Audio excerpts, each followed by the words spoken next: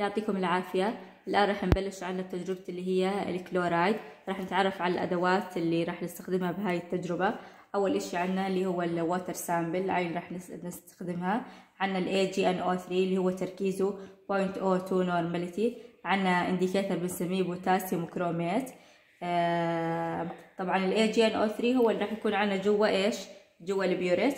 وعنا conical flask آه أول إشي راح آه اللي هي نسحب آه عشرة ملي من العينة جوا ال conical flask آه بعدها راح أضيف عليها كم نقطة من ال potassium chromate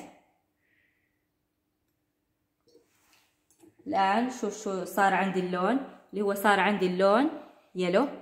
الآن راح نعمل titration بال AgNO3 الآن راح ناخذ قراءتي اللي هي ال initial. اللي هي أربعة وثلاثين فاصلة اثنين. سجلها عنا. آه بعد راح نعمل titration بال AgNO3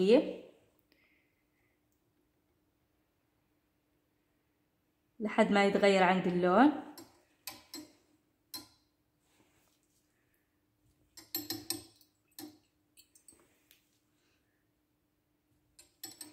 طبعا لو إحنا نشتغل راح تشوفوا فيه لون مترسب بآخر ال flask تقريبا لون orange. طبعا هذا لون الراسب بنسميه ال AgCl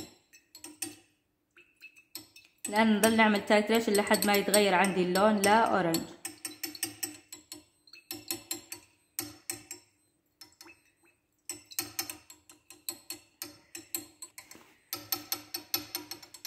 الآن نوقف ال titration لما تغير عندي اللون لل orange ناخذ قراءتي اللي هي ال final.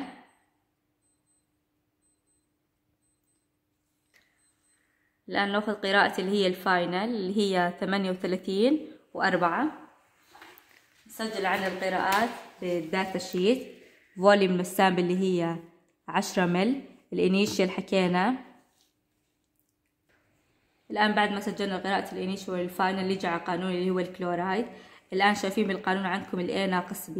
ال A اللي هو ال volume ال AgNO3 اللي استخدمناه إحنا لل sample ال B الآن اللي هي المفروض يكون في عندي أعمل نفس الشيء فحص تركيز الكلورايد لعينة اللي هي ال blank ال blank شو يعني؟ عينة تكون distilled water طبعا ما راح يكون فيها كلورايد يعني إنه يكاد لا يذكر. فبال إحنا بالعادة ناخذها بين ال B ناخذها بين ال point 2 وال point 4 مل فاحنا راح ناخذها اللي هو ال average لهم اللي هو نسجل قراءة ال B اللي هي point 3 مل وال A حكينا كيف نحسبها اللي هي النيشن نقصه من ال final آه ضرب تركيز ال normality ال AgNO3 اللي هو point O 2 في ال 35.45 اللي هي ال equivalent weight لل chloride في 1000 على ال volume لل sample اللي هي 10 مل نفس الشيء نرجع لل method اللي هي titration ال burette solution اللي هو ال AgNO3 ال indicator potassium chromate ال end point نقطة تغير اللون من ال yellow لل orange هيك تكون عنا خلصت تجربة الكلورايد.